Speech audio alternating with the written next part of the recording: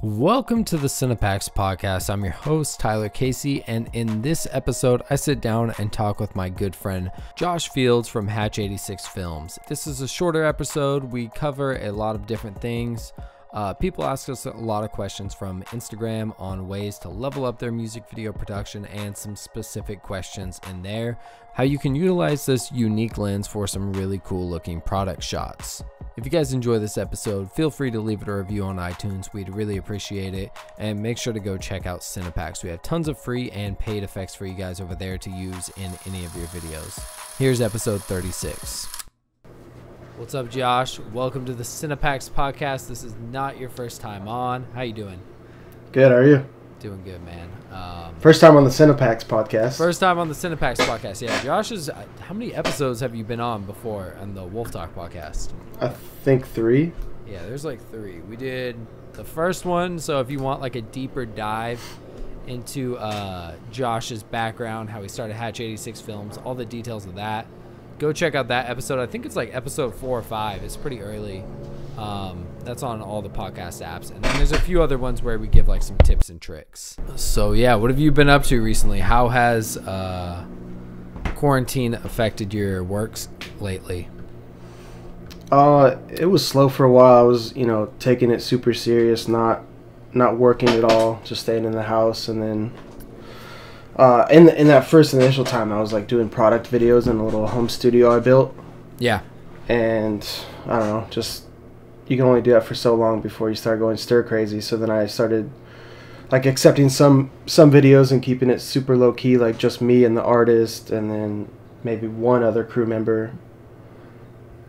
Yeah, I feel like when I feel like our job is one where you can maybe get away with like shooting and like still being safe, especially when like the lockdown was pretty strict, just because you can stay a distance away from like an artist or something like that. Um, but yeah, I don't know. How do you feel about people going out and like sh- shooting quite a bit when the lockdown was still happening? Because I mean, I'm sure you saw a lot of people still going out. Do you? Yeah, you feel about yeah. Uh, to me, it's kind of it was kind of sketchy to me in the beginning, and it was just I don't know, frustrating because I did want to go out there, but at the same time I was trying to you know be safe and responsible. So Yeah, definitely just being careful and taking precautions on set. Just limiting the amount of people that are going to be on your sets, I think, is like a pretty good thing that you can do. Um, Yeah. But so you said you've been shooting at home in videos and following your Instagram. You see, you shoot these crazy at home videos uh, using the popular lens. What lens is that that you use for the people who don't know? It's the Laowa t- uh, 24 millimeter probe lens, uh, macro probe lens. Yep. It's So it's crazy. you know the only. Actually, I've just seen another one, but it's pretty much the only of its kind because traditionally macro is zoomed in like Mhm. 100 millimeters or somewhere around there. So it's just a completely different look being wide angle and macro. Yeah, exactly. Because like we've done we've done macro shots with like a hundred millimeter, and like that stuff's cool for like like close ups on like jewelry or uh, I think you maybe used it on that uh, Philthy Rich video, the my shit video. Did we use that? Oh, Maybe I think don't you got one shot of like the Rolls Royce, the little yeah, little yeah. pendant thing.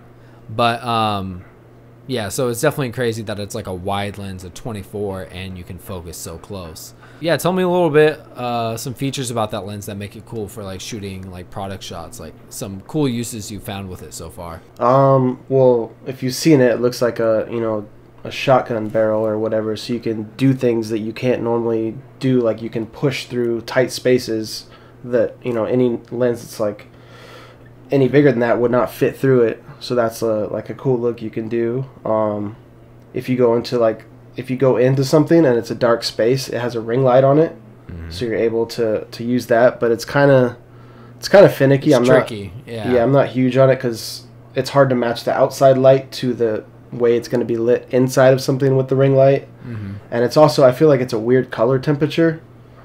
It's like somewhere in the middle, and I can't figure out where it is.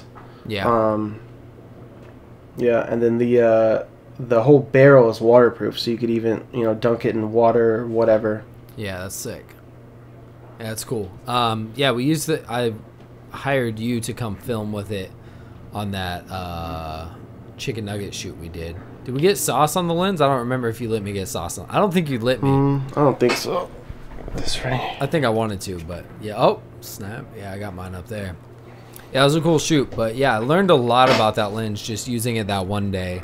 It was pretty crazy. Just like uh, everyone thinks it's super easy to use, just seeing it on Instagram, but there's a lot more that goes into using that lens. Whether it's the focusing distance, the depth of field's ins- insane on that because you're so close to these subjects. The depth of field is so shallow, and what f-stop is that lens? Yeah, the lowest it goes is 14. For So- f14, that's insane. So you need a lot of light, but then it's still a shallow depth of field when you are at f14. mm-hmm. So like I don't even think even if the technology was there to make that thing like even like an f4, Uh, yeah, it wouldn't. I can't even the the depth of field would be like a millimeter. Like Yeah, it would be nothing. I don't even know. It's already super shallow. Yeah, because that's what I was afraid of. Is like, uh, because I was gonna do some 3D camera tracking, like shots of like having uh, I'm Sue and Cool John like tracked onto the sauce packets. I was afraid of as soon as we like push in or out that they were going to be out of focus right away and I was going to have to like blur them and I was like mm-hmm. I don't want to have to do all that. We I think we ended up filming it on my GH5S cuz it has better low light performance and I felt like the colors matched that versus the Sony a little bit better. Match your red that we use on the green screen. Did we use yours We used my GH5, yeah. with a speed booster? Mm-hmm. Hmm. The GH5S, yeah. So, So like I yeah. said, that what does that make the the f stop at that point? Oh, it's like uh I don't know. I forgot. I think we even it. stopped down just a little bit too Mhm. because it uh just the depth of field, but um yeah, that's one thing because like talk a little bit about like the pros and cons of like why it's kind of difficult to film like with a red with that lens. I mean, it's kind of obvious, but Yeah, well, yeah, just like you shouldn't go any higher than 800 ISO on on most reds unless you have the Gemini. So it's just hard to get the amount of light. Um, recently, though, I started because I always diffuse the light for product shots, yeah. and I started trying no diffusion. I just use the the dish that comes with the 300D, and it actually doesn't look that bad with hard light, Yeah. and you're able to get more light on it. Since Is that the diffused. 300D Mark II? Yeah, You're going to need that 600D for these product shots next. Yeah, no, you could diffuse the 600D probably, and that would Yeah. be pretty dope. Yeah, it'd be fire.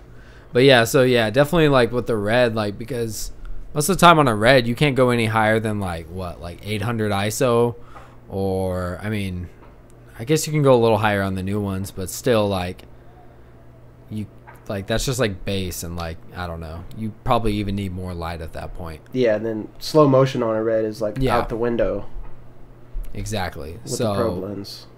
yeah, which is just crazy. So I can't imagine how much light you would actually need to like produce something like this.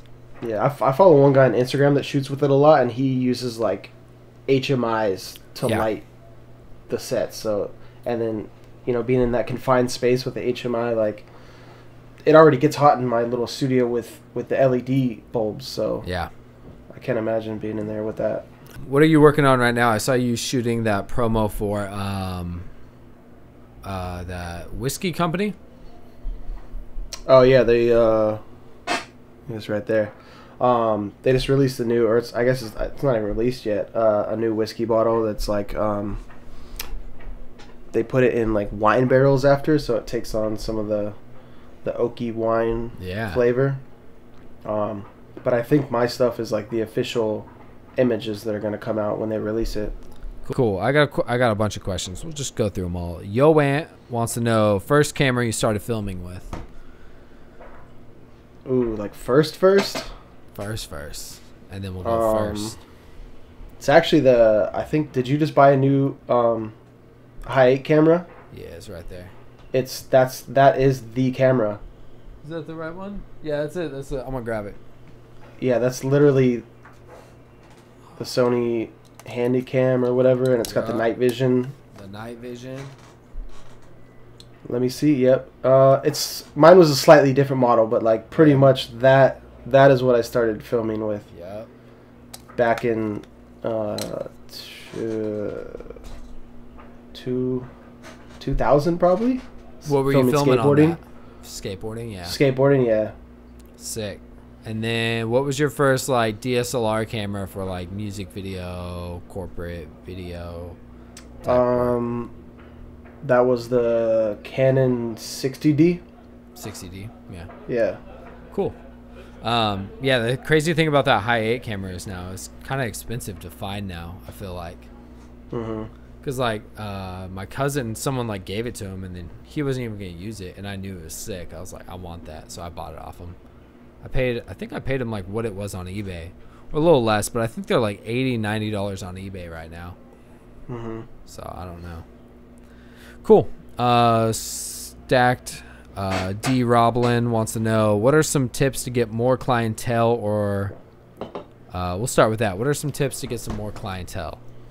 Just be active on social media. Like if you have skill, like showcase it, and yeah. the clients will come. Yeah, I think putting a hundred percent into all videos you do, even if you don't, you know, it's not like the most poppin' artist. Even if you put a hundred percent in that video on set and in editing, delivery, communication, all that, I think will all come together and get you more clientele overall Yeah. because they're gonna see you're putting in that effort. And I think that's one thing that's gotten you.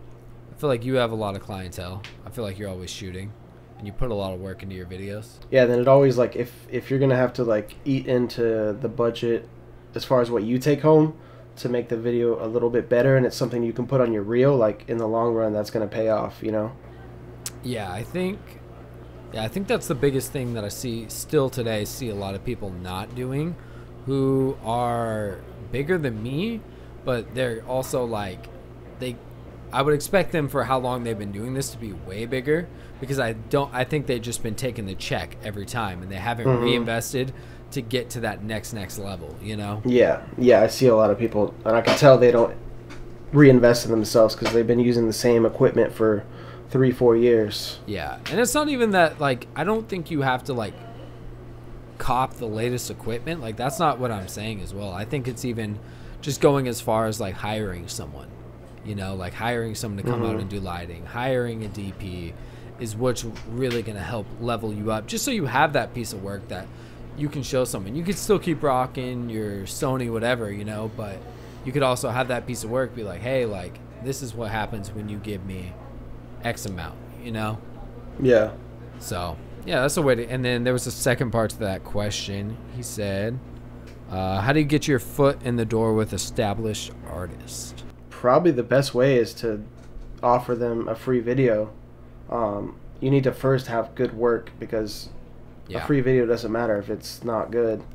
Um, so you know, first first get your work to a good place, and then reach out to whoever you want to work with and show them your work, offer them a free video, and then from there you can start making money from that artist, or then like take that and go to other artists and be like, look, I've shot for so and so.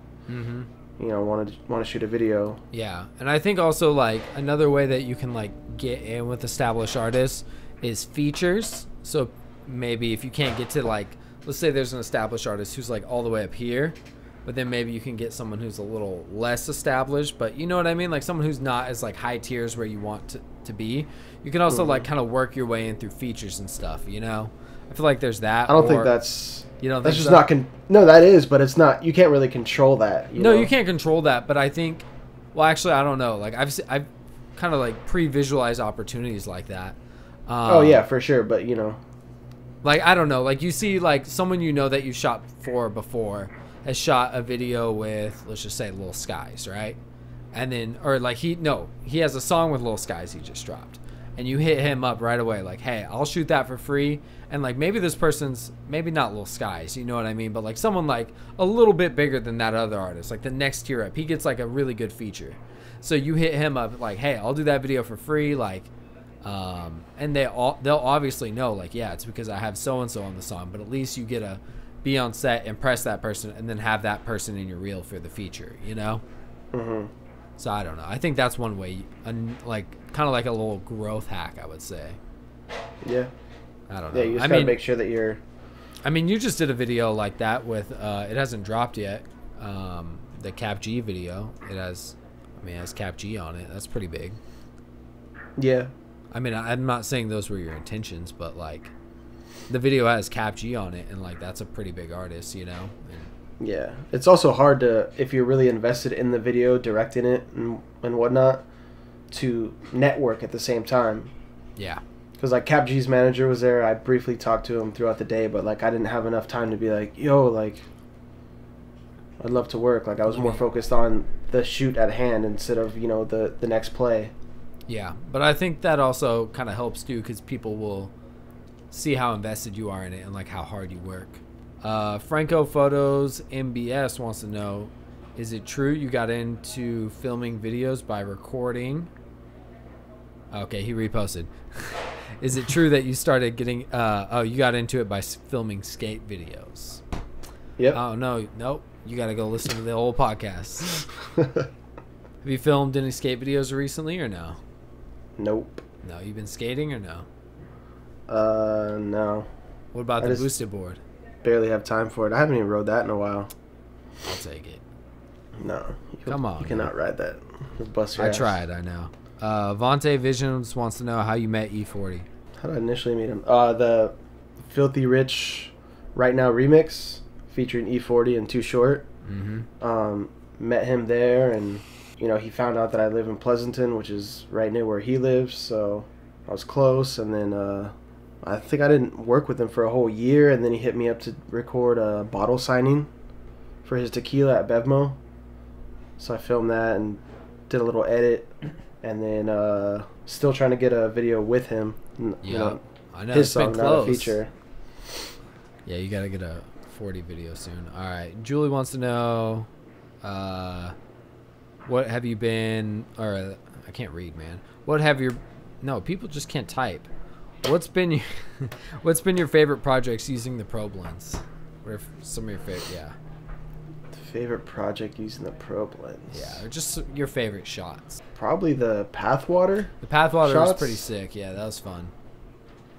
Yeah, it helps if you have a product and there you have a lot of it. It makes you know for a better shot as opposed to just Yeah. one bottle or one whatever it is in the scene. Yeah, it was cool a lot of because Pathwater. So It was cool because we kind of built like a little set of like path waters around it, which was pretty cool. A path of path waters, and then it, I like the one shot like where we came out of like the uh, the little hole, the little bottle Mhm. hole. That was pretty fire. Hitting the mister. That took all three of us, right? yeah, with Spencer. Yeah. One person was pulling back. I was misting. I don't know what the Mhm. other person was doing. Maybe I was filming behind the scenes. I don't remember. Um, cool. She also wants to know where do you see your career going in five to ten, five and then ten years? I don't know. Hopefully, like as far as music videos go, just working with bigger and bigger artists. Um, you know, working with with bigger brands. You know, I've started working with a few, but you know, I want to keep growing that and. You know, maybe not be like someone's in-house videographer for a brand, but be like a brand's go-to person for whenever they need a video. Yeah. Yeah, I'd be sick. Yeah, I definitely felt like last year, the beginning of this year, you're doing like a lot of more like corporate work, which is pretty cool, just for like brands and whatnot. So is that Mhm. something you're trying to keep up? Yeah, it's definitely as long as it's you know fun. Like I just I don't want to get to the point where it's you know like mundane and it's not fun to shoot, Yeah. and I'm shooting for the paycheck. Yeah. So it's it's nice to have like a middle ground where it's still fun, but you know it's also a good paycheck. a good check. Yeah. Where, yeah, for sure. Um, Susie made it wants to know: Has making videos changed how you watch movies? Yeah, for sure. Yeah.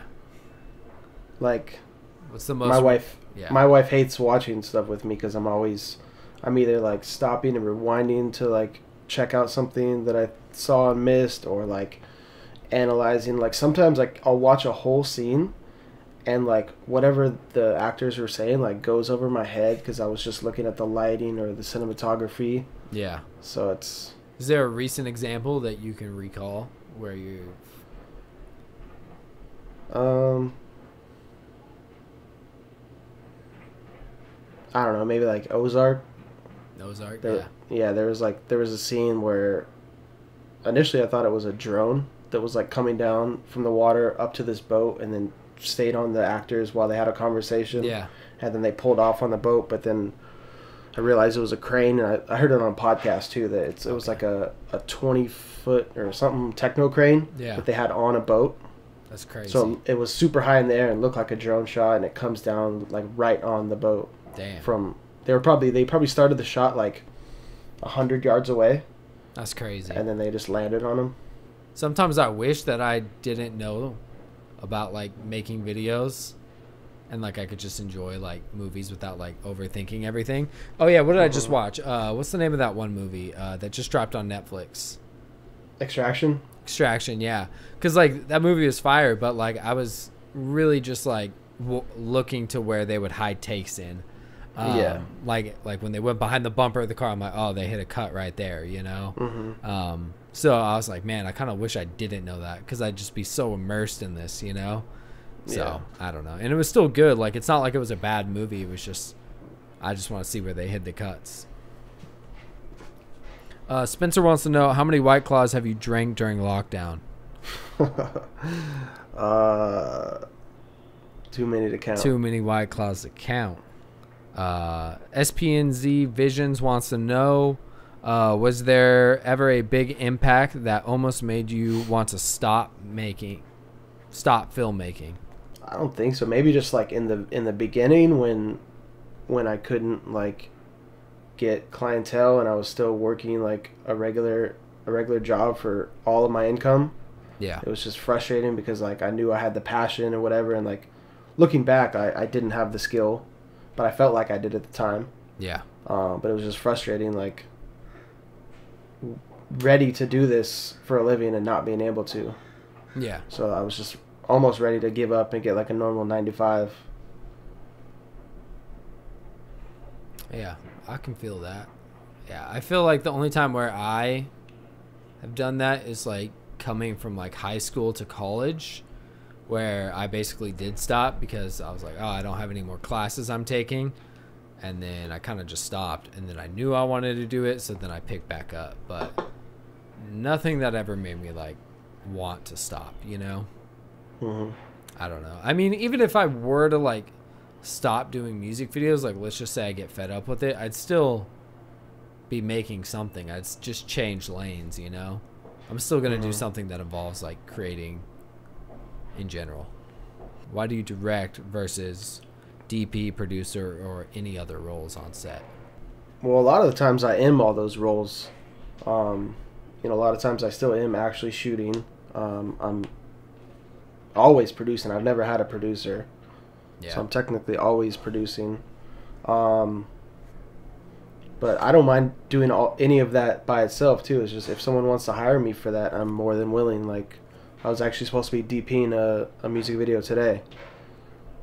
So okay. Yeah. you know, I like it all. I just, I think Yeah. the only thing I would not want to do is be like an editor full time. Like any of those Yeah. other positions, I could do Yeah. full time. Like I don't need to be a director. But You would do producing full time? mm, no, not full time. You just said you. what? a good amount. I'll do it if you know. you would do know a what I good mean? amount of I, I couldn't do it i wouldn't want to do that i feel like it's like really boring. I don't know. I mean, it's it's nice just to mix it up every once in a while to have like you know, one or two of those a month. i don't know. Yeah i don't know. I took on an editing gig not too recent or pretty or a few months ago but like just made me kind of realize like yeah i couldn't be like a full-time editor. Like i don't know. It's just too much. I don't want to i'm already inside editing enough. I don't want to be inside even more. Like editing other people's stuff and i feel like it's hard to get passionate about other people's projects that you don't care about Yeah. with editing. I mean, if it's a cool project, yeah, I'm down, but that's how I kind of feel. Uh, Jace Elliott wants to know figuring out your rate and building a team. Um, so I guess that's like three questions. How did you figure out your rate? I guess just like initially when I was uh, used to work in the restaurant industry, and I was you know transitioning out of that into to shooting more and then full time. I just wanted to at least make what I was making there in video. Yeah. Um, so I just broke down basically what I was making hourly and kind of like built that into my rate. You know, if like you know it's a six hour shooting day or whatever. Um, you know, and then as you as you progress and grow, then you just gotta essentially give yourself a higher hourly rate, and then that just becomes what your day rate is. Kind of compare um, people who who you think you're kind of similar to as far as like in your area of like skill level as well, like you're producing equal level videos. Um, maybe just ask them what their rates are if you're cool with them, you know, just so you know you're kind of like on the same level. Um, yeah, if yeah, if you're cool with them. But I've never, you know, I've never asked like a random. I mean, director what they charge. I mean, I feel like me and you, our rates were kind of like rising at the similar times.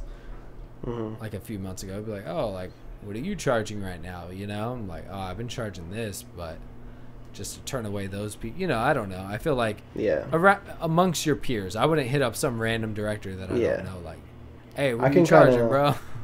Yeah, I can kind of tell what other people's rates are too because an artist will hit me up and then be like, oh man, this is this is all I have to work with, and I'm like, oh sorry, that's like it's a lot less than what our videos start at. Yeah. And then I'll see so and so shooting a video for that guy, and I'm like, all right, like, I know what you're shooting videos for. Yeah. So yeah, yeah, that's definitely true. Um, so there were like three questions in this one. Uh, building a team. Um, how do you build a team?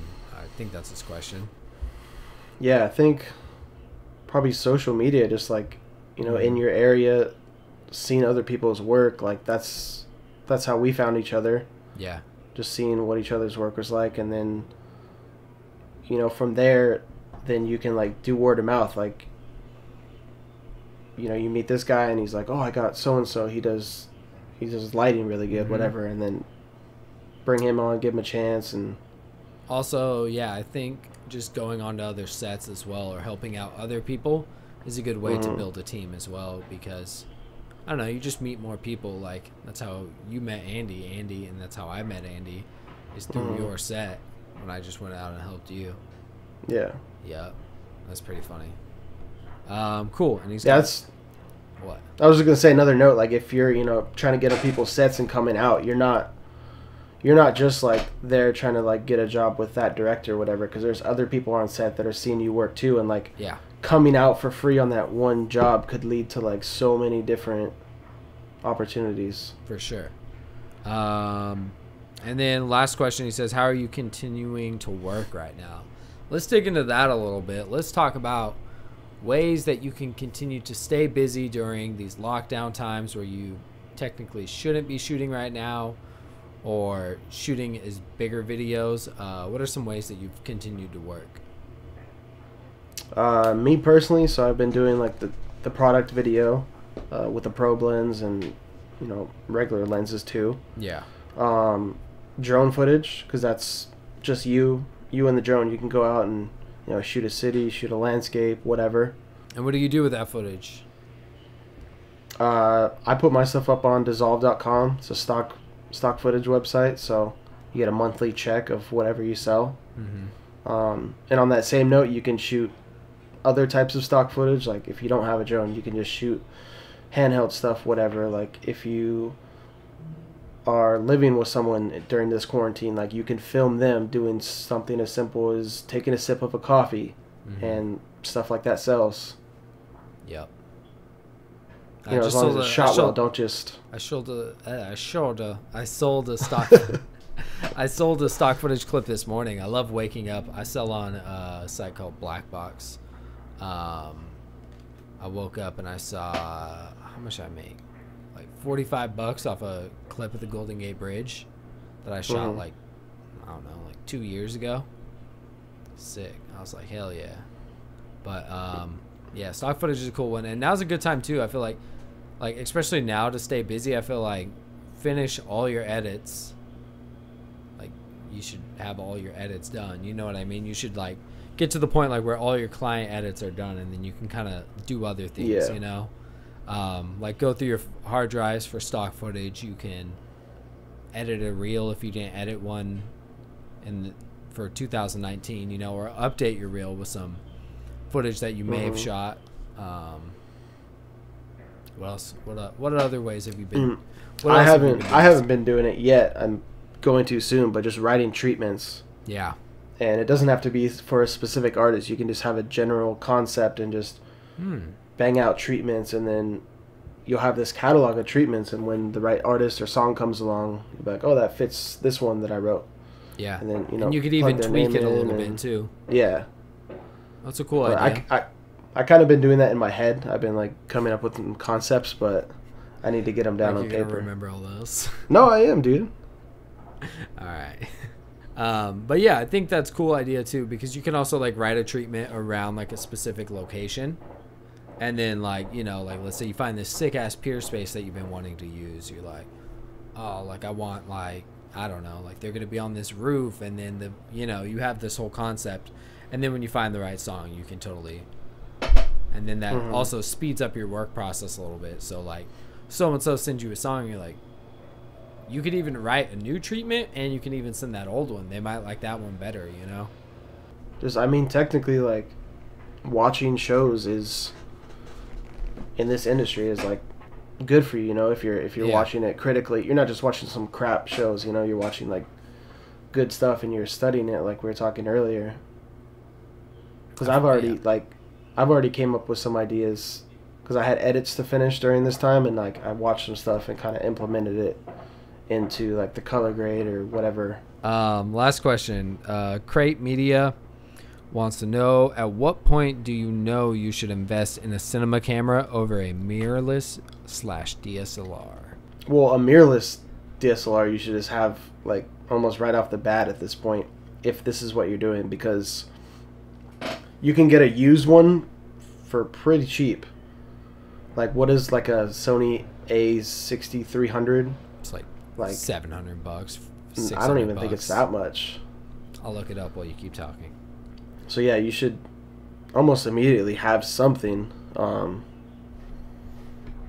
even if you could just borrow or I guess you're not owning it at that point, but yeah, you should at least have something because But let's say like he, you already own a DSLR. When should you upgrade from that? Like what? Uh, to like a cinema camera, like you said. camera? Yeah, five fifty for a A sixty. Um, I would say, well, you know, at first find someone that does have it, and so you have it available when people need that, and you can either rent it from them or hire them to DP with their camera. And initially, it's going to be like few and far between that you're going to get clients with that need, and eventually it'll get to a point where you're like, oh man, I've been. I've been hiring this guy like five times a month with his camera yeah, like I can buy one myself and it'll financially make sense. for sure. Yeah, I think. Also, it depends what you're trying to do. If you're trying to direct, maybe you don't ever want a cinema camera, you know. Um, but maybe you're trying to be a DP and maybe you just want to shoot videos for other directors. Maybe it's a good idea to invest in one early on, you know. Um, but I think that also depends too on like you can even still at that point you can still rent one uh, off a ShareGrid or a rental house or anything like that. So, um, and there's also cheaper cinema cameras out there. I feel like you can get pretty close to the Red Look um, or any other cinema camera, like spending I don't know anywhere like five to ten thousand dollars now. I feel like like there's all these like new cameras coming out. Like yeah. So what do you got planned coming up here in the next few months as things are opening? You got more shoots planned, or what do you plan on doing? Uh, yeah, I got a couple shoots planned. Uh, I have one next week. Um, it's a pretty. It's gonna be a big video, but it's not a big production. I'm keeping it small. And then I have another one next month, which I'm not sure how it's gonna work, but it's supposed to be a pool party. So I don't know if that's gonna Yeah. work out in time. It's like literally one month from right now. Social distancing pool party. Yeah, I'm gonna film the whole. I'm gonna film the whole thing with my drone. Really? No, I'm just kidding. Just in the parking lot, in the garage, in the driveway, just like Mhm. on the other side. That'd be sick. Is there any people could check you out on Instagram? I'm gonna link that down below. Is there anything else you want people to go do or check you out? I don't know. I guess if uh, if you live in the Bay Area and you need any of the equipment we talked about, I rent all my stuff on ShareGrid, Yeah. so you can check out my ShareGrid. Um, just Hatch eighty six on ShareGrid. Search Yeah. it in the Bay Area, you'll find it. Um, got lights, cameras, lenses, everything. So Mention CinePacks and get a discount on the probe lens. yeah, Tyler will uh, mail you the rebate. Yeah, I'll mail you the rebate. Mail in rebate. Got you. Uh, but no, yeah, if you guys definitely want to check out the probe lens, he's got that up on there. It's definitely a cool lens to uh, play around with. You definitely need a lot of light. Um, it's fun though. You get some really cool shots. But yeah, cool. Thanks for thanks for coming on. We definitely got to do another one in the future. I want to do some more with like more people as well. Have like more of a conversation would be pretty tight to talk to more directors and stuff like that. So we'll definitely do that in the future. But yeah, go check out the old episodes with Josh. Bunch of value in those as well. Thanks for watching. Peace.